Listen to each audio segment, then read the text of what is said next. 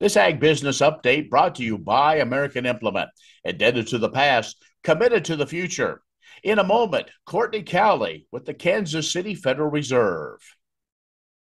S&S Trailer Sales with two locations in Ness City, Kansas is where everybody goes to buy or rent trailers. They feature the all-new, all-aluminum Maurer grain trailer with all of the electric options, the easy-to-load detached trailers, and a huge stock of header trailers. At the west location, you'll find bumper pulls, goosenecks, and oilfield specialty trailers, along with flat and utility beds for pickups. S&S Trailer Sales in Ness City and on the web, but remember, you do have to spell out the end.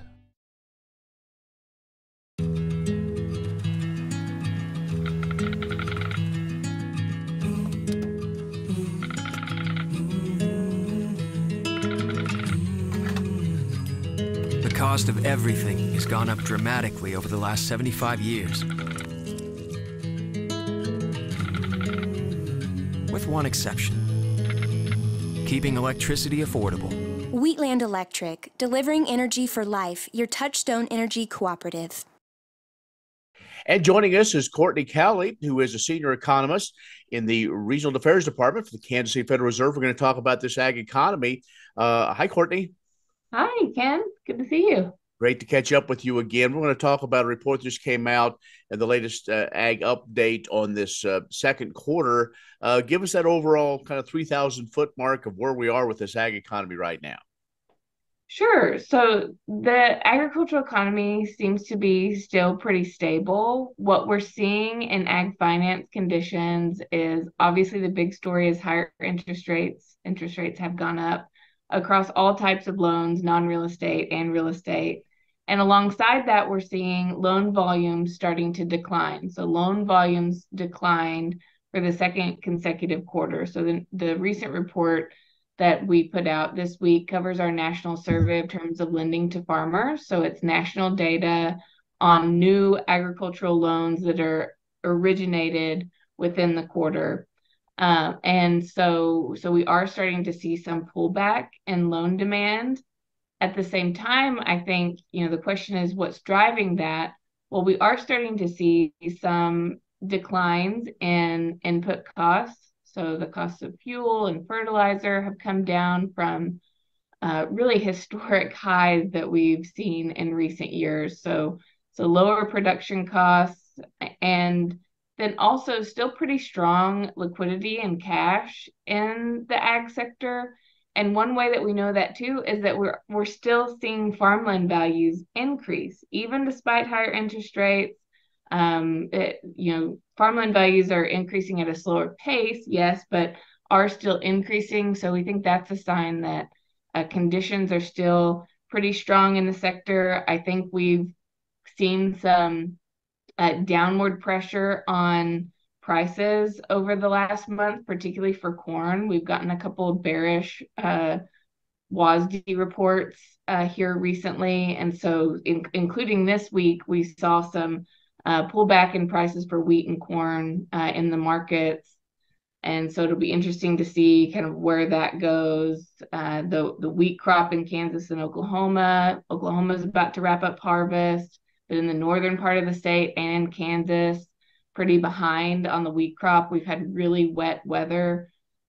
Um, and so I know on on my small farm here, it's been a while since I've been able to go out to the barn without rubber boots on, and so uh, which is a very different situation than where we were last summer. So uh, weather, I think, is the weather and interest rates. I think are the two most important factors right now for the ag economy.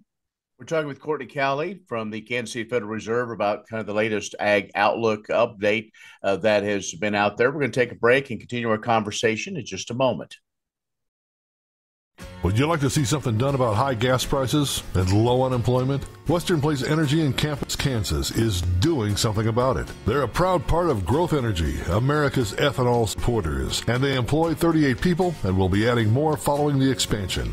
Ethanol fuel not only reduces the cost of regular gasoline, it's good for the environment and keeps money right here in the United States while supporting local rural jobs. Western Plains Energy, doing something for the future. When you've had a best friend for over 50 years, you develop a trust. And the Scott Co op has been a trusted rural friend since 1957. A co op keeps money in the area, doing business for and with their members. And that helps keep their hometown thriving with keeping money in the community. Scott Co op is not just an elevator, it's the rural way of doing business. So, when you see an elevator, remember your friends at Scott Co op. Well, let's start again. False start. My timer again. Three, two, one. And our guest is Cortney Cowley with the Kansas City Federal Reserve. She is a senior economist in the Regional Affairs Department. Uh, and Cortney, as we look at what's going on, uh, let's talk about the strength of, uh, of banks. And, you know, mm-hmm. we saw a report out from the Economic Research Service that said, you know, the challenge for the bigger farmers isn't quite so much as what these smaller farmers are, but piece all that together of the strength of, of, of lending opportunities for banks and just the strength they've had in going through some of maybe the challenges we've seen, uh, especially here in the Great Plains and High Plains. Yeah, I think I think that it has been challenging um, with you know kind of major swings in interest rates that always creates challenges and and with vol- the volatility we've seen in markets kind of starting with the pandemic and then the war in Ukraine. And then now that's created just, you know, at the very least, a lot of uncertainty for agricultural producers and also agricultural bankers. Uh, from what we're seeing, though, agricultural banks have still been very well positioned. Um, you know, net interest margins have improved. You know, one of the things that got, uh, you know, the ag banks through the pandemic, you know, they you know did pretty well with servicing farmers even with the paycheck protection program and and generating revenues from that. Uh, i think that the the main thing you know the main difficulty we're seeing now is we are starting to see loan demand start to fall off. Um, on the other side of bank liquidity is deposits and i think that's also been uh, one difficulty as well you know with higher inflation people are spending more money and maybe not depositing as much. So we are we have started to see some uh, weakness on the core deposit kind of that core funding side for banks. And so that's something that we're monitoring very closely. But as of right now uh, agricultural banks um, funding is still very strong still very much able to lend um, to producers that need that financing. And so um, not not too concerned right now, but definitely monitoring it very closely. Well, before long, uh, a lot of producers will be going to their to their local banks and uh, or farm credit or whatever to to uh, talk about operating loans.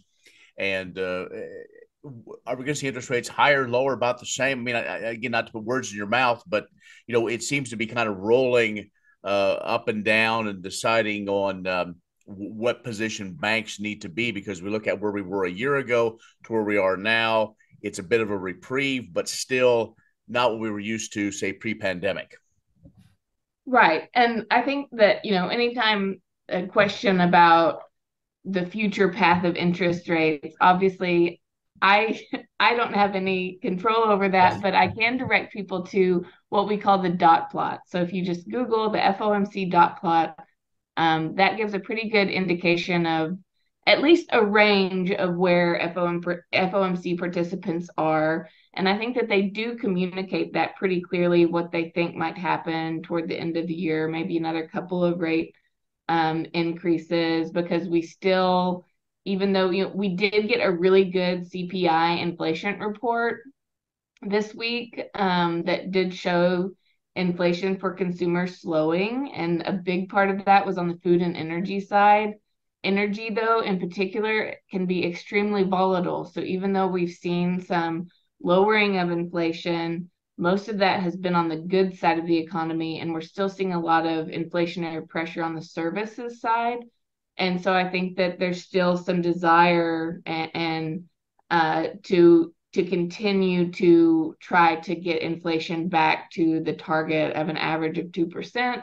And um, so, according to that dot plot that I mentioned, we could still see rates go a little higher, but in the longer term, uh, the dot plot would show interest rate, the, expectation that interest rates could start to come back down um, at least by 2025 is what that shows. All right, Cortney. Well, we appreciate the update on what's going on, and we look forward to continuing this conversation as we go throughout the year. So appreciate it. Yes, thank you so much. Cortney Cowley, who is the senior economist, Regional Affairs Department with the Kansas City Federal Reserve, has joined us. We'll have more coming up in just a moment. Wolfter Construction and Irrigation has been around a long time, and a lot of folks have trusted them to design, build, and service all sizes of commercial and on farm storage for grain and equipment. Wolfter is also known for their outstanding irrigation division, where they stock a complete selection of nozzles, regulators, drops, gear drives, electrical, and structure components. Looking for an electric motor? Wolfter has a large selection in single and three phase. Next time, reach out to the pros who have decades of experience at taking care of business the right way. Wolfter Construction and Irrigation.